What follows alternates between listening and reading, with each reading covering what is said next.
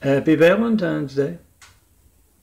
You know what would make a great gift if you've forgotten somebody and they. I love the Saints. Get them a nice set of a month or two months. Four by six photos. I'm Melton. Designer. And you can find them at that website, saints-imagery.blogspot.com. Download and print out as you print out your family's photos like this, a 4x6 photo. You have to look for the graphic art photos that are exactly 4x6, otherwise yeah. You'll crop some of that off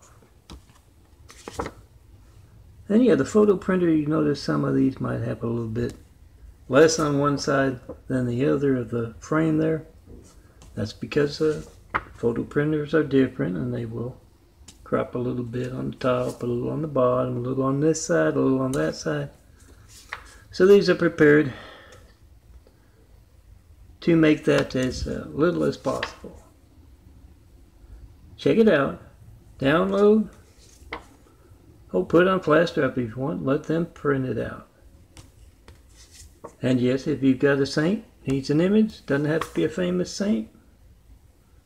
Try to call me and see religious censorship. 424-229-4140.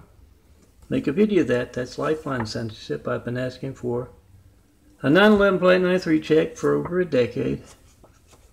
That's you picking up your phone and knowing that it works all the time because you can reach me right now.